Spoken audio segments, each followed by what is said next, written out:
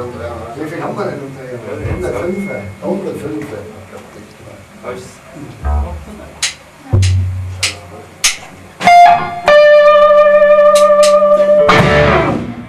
예.